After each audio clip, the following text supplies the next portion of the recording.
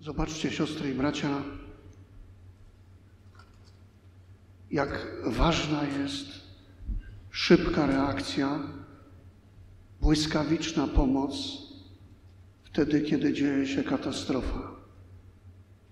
Widzimy to teraz, jak z całego świata ratownicy pospieszyli na pomoc do Syrii, do Turcji, żeby wyciągać spod ruin żyjących ludzi, a pewnie później już ciała tych, którzy nie przeżyli. Jak ważne jest, żeby zareagować od razu, wyciągnąć pomocną dłoń.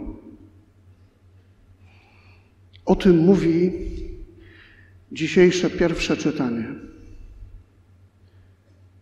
To prawda, że mówi o grzechu pierworodnym, o grzechu pierwszych rodziców,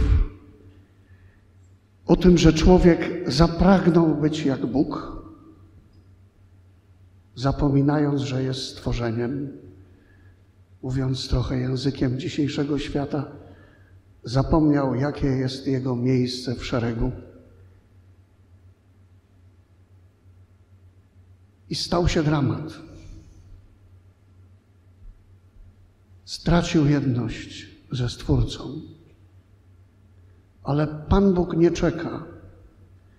W tym fragmencie z Księgi Rodzaju słyszymy, że od razu Bóg mówi do węża: Wprowadzam nieprzyjaźń między Ciebie a niewiastę, między potomstwo Twoje a potomstwo jej.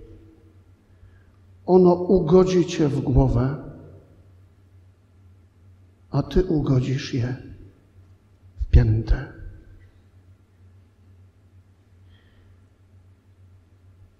Zapowiedź tego, co już się wydarzyło. Żyjemy w czasach ostatecznych, po tym, kiedy Jezus już skutecznie zwyciężył moc szatana na krzyżu.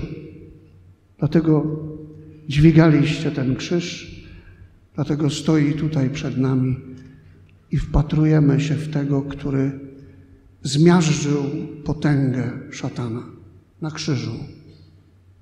Potomek niewiasty, drugiej Ewy, Maryi. Bóg nie czekał, zapowiedział od razu walkę. Ale potrzebny był czas, by ta zapowiedź się zrealizowała. Dzisiaj, będąc tutaj, stajemy po stronie zwycięzcy, bo walka trwa dalej. I każdy z nas, uderzając się przed chwilą swoją własną pierś, ma świadomość tego, że ta walka trwa. Ale jak stoisz po stronie zwycięzcy Jezusa, to nic ci nie grozi, bo On już szatana pokonał. I On jest jak tarcza, która nas chroni. Chowamy się za Niego. I wstawia się za nami Matka Zbawiciela, Maryja. Na wizerunkach, które mamy, tu jest Fatimska, tu jest niepokalana, jest na globie ziemskim i depcze głowę węża.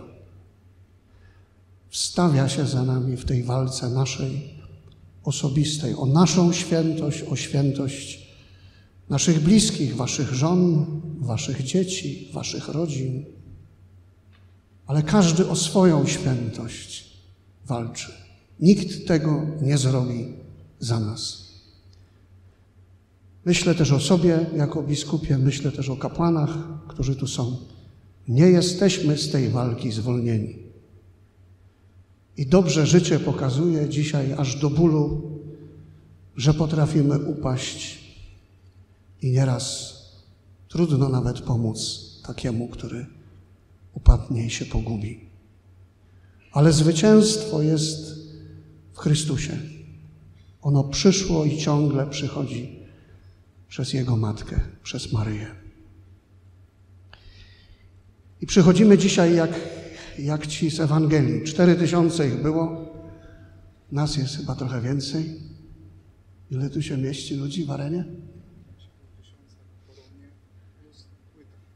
Pytam fachowca. Pięć i pół tysiąca na koronie plus płyta, więc jest nas pewnie więcej. Przychodzimy, bo jesteśmy głodni też. Chcemy słuchać Jezusa, chcemy umocnić się na drodze wiary. Chcemy podać rękę temu zwycięzcy, którym jest Jezus.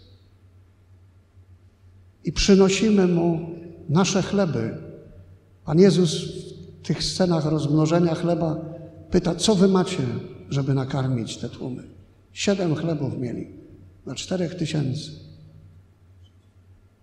I Jezus się zainteresował tymi chlebami.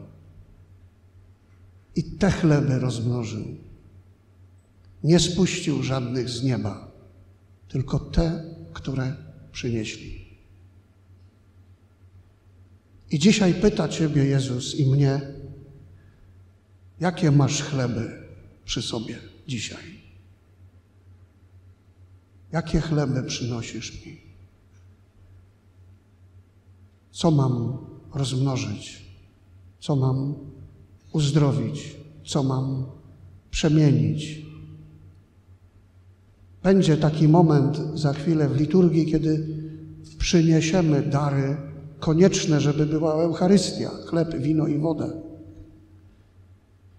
I wtedy warto, żebyśmy duchowo też wrzucili na tą patenę to, co przynosimy. I nie bój się, jeśli myślisz w tej chwili, że nie mam chlebów, ale mam kamienie ze sobą. Wrzuć je. Ręce Jezusa są silne, On dźwignie wszystko, co przynieśliśmy. A Jego duch ma moc przemiany. I może kamienie przemienić w chleby. To jest taka dynamika naszej duchowości. Przynoszę Jezusowi swoje życie. Nie uciekaj od tego, czym teraz żyjesz. Oddaj mu to. Jak to jest piękne, to on się tym ucieszy. Jak to jest bolesne, to będzie z Tobą współcierpiał i leczył i przemieniał. A Maryja, którą czcimy dzisiaj jako lurdzką Panią, w tamtym miejscu tak wielu ludzi doznało uzdrowienia. Maryja, która jest uzdrowieniem chorych, stawia się za nami. Ale musisz zdiagnozować swoją chorobę. Do tego nie jest potrzebny w tej duchowej chorobie lekarz, ale spowiednik, kierownik duchowy i własne sumienie. Ale oddajmy też Jezusowi przez Maryję nasze choroby, te i fizyczne, i psychiczne, emocjonalne. Dzisiaj prosząc, żeby ona wypraszała u Syna uzdrowienie każdemu z nas. Jeszcze na koniec krótkie świadectwo. Kiedy się modliliśmy razem w Poznaniu, pewnie niektórzy z Was wtedy byli, w parafii nawiedzenia Matki Bożej. Jest tutaj proboszcz tej parafii, ksiądz Krzysztof. Tam się wtedy modliliśmy, to podziękowałem Wam za Waszą męską wiarę, za Waszą męską pobożność. I powiedziałem, że ja tego nie doświadczyłem w swoim domu. Może się udać wychowanie religijne dzieci, kiedy ojciec nie przeszkadza i nie wspiera, a czasem nawet odciąga. Trochę tak było w moim życiu. I udało się wychowanie religijne, które wzięła na swoje barki nasza mama. I bardzo Wam dziękuję za to, że że jesteście i troszczycie się o swoją wiarę, zwłaszcza ci, którzy żyją w małżeństwach, którzy mają swoje dzieci. Ogromnie się cieszę zawsze, kiedy widzę facetów w kościele. I ogromnie się cieszę, kiedy widzę razem z żoną i z dziećmi. I tutaj słówko do Was, dziewczyny i chłopacy. Fajnie, że macie takich ojców. Fajnie, że możecie widzieć swojego tatę z różańcem, że możecie iść z nim do kościoła. Ja pamiętam tylko kilka takich chwil, kiedy byłem z ojcem w kościele. Jedno z tych wspomnień niedawno zweryfikowałem, bo byliśmy jako dzieci w Tatrach, w Zakopanem. Mamy nie było i ojciec wiedział, że nas trzeba zaprowadzić do kościoła. Byliśmy na Krupówkach na dole w kościele świętej rodziny i zawsze mówiłem, że mógłbym wskazać miejsce, gdzie stałem wtedy przy ojcu. Tak to przeżyłem. Byłem niedawno z episkopatem w Zakopanem.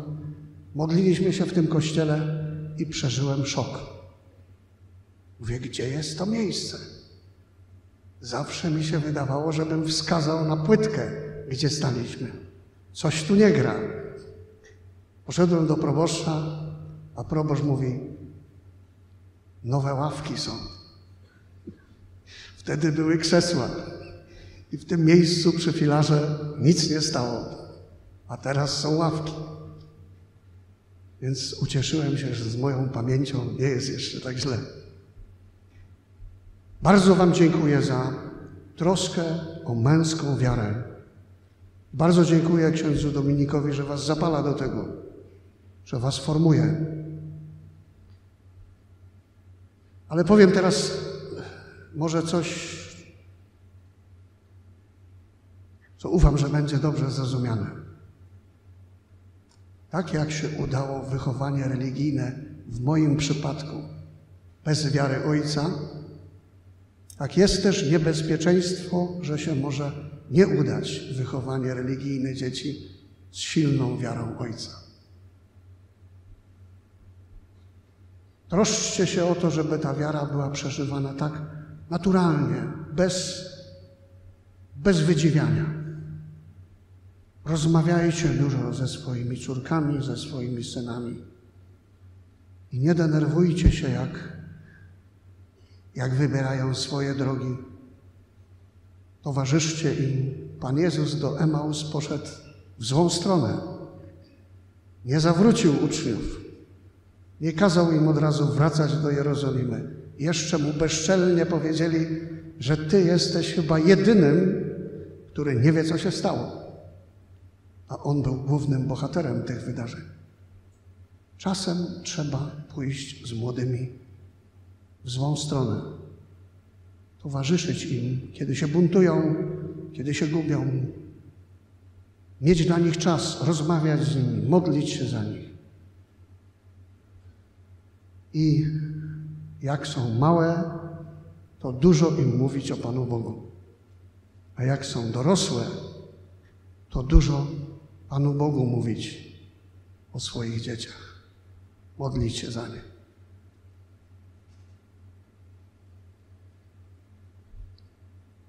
Proszę Boga, żeby Wasze świadectwo było piękne, czytelne, skuteczne.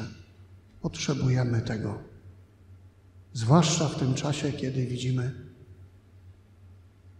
jak wielki jest zamach na małżeństwo i rodzinę. Niech Maryja, która jest Waszą szczególną patronką, która dała nam tego, który śmiertelnie pokonał szatana, niech nam wyprasza potrzebne łaski i niech nas prowadzi. I na koniec, patrząc na Jezusa umęczonego na krzyżu, mając świadomość tego, że tutaj objawiał się siostrze Faustynie w tym mieście, że tutaj kazał namalować swój wizerunek i podpisać go słowami Jezu, ufam Tobie. Zaśpiewajmy razem ten akt strzelisty, o który Jezus się ciągle upomina. Jezu, ufam Tobie. Jezu, ufam Tobie. Jezu,